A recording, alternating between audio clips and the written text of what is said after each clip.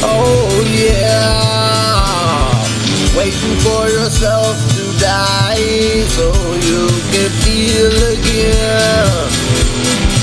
Never ending, the torment rises to the top, and we boil, try to escape the atmosphere we are in.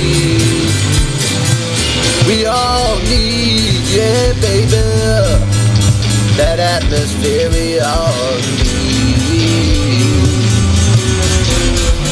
Uh. Waiting for yourself to die today, so you can feel again.